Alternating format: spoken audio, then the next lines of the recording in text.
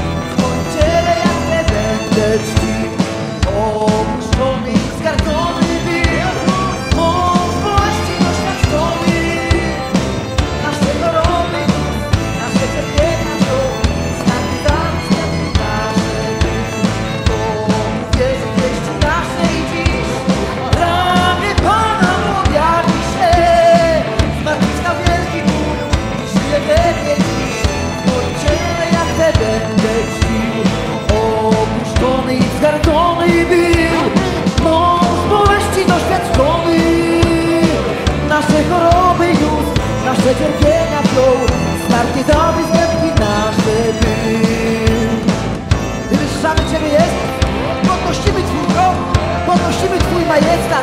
Podnosimy Twoje cudowne imię, Jezusie, Synu Boga żywego.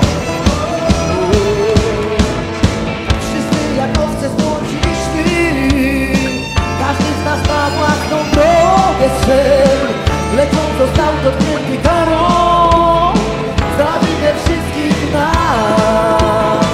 Wszyscy jak owce złączyliśmy,